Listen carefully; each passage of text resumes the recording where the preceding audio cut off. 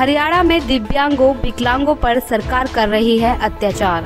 करनाल 25 मई, हरियाणा में दिव्यांगों, विकलांगों के साथ लगातार अन्याय किया जा रहा है और अन्य राज्यों की तरह मूलभूत सुविधाएँ, जैसे पेंशन, बस पास व रेलवे पास हरियाणा में 40 प्रतिशत अपंगता होने के बावजूद भी हरियाणा में प्रदान नहीं की जा रही। यह विचार नेशनलिस्ट कांग्रेस पार्टी के प्रदेश महामंत्री व मीडिया प्रभारी एडवोकेट विजय पाल ने आज करनाल में आयोजित विकलांग कल्याण अधिकार समिति के अनिश्चितकालीन धरना में शामिल होने पर कही धरना स्थल पर प्रदेश प्रधान चरण सिंह व कोष अध्यक्ष राजीव शर्मा कुड़लन आदि ने विजय पाल एडवोकेट को बताया कि हमारी 18 मांगे हैं, जो कि जायज़ हैं। एनसीपी नेता विजय पाल ने उनकी सारी मांगों को सुनने के बाद कहा कि बड़े दुख और दुर्भाग्य की बात है कि दिव्यांगता अधिनियम बनाने के बावजूद उसको हरियाणा सरकार पूरी तरह लागू नहीं कर रही।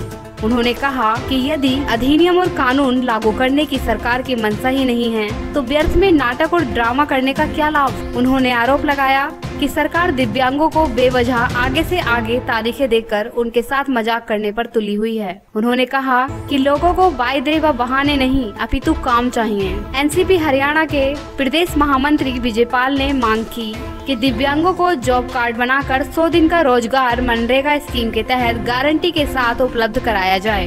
और उन्नीस से रिक्त पड़ा बैकलॉन्ग माननीय सुप्रीम कोर्ट के आदेशों के अनुसार शीघ्र पूरा किया जाए। उन्होंने यह भी मांग की कि दिव्यांगता अधिनियम को हरियाणा में भी पूर्ण तौर पर लागू किया जाए। उन्होंने कहा कि एनसीपी पर अन्याय में दिव्यांगों के साथ खड़ी है और उनकी सभी मांगे सरकार को शीघ्र मानकर उन्हें राहत देनी चाहिए।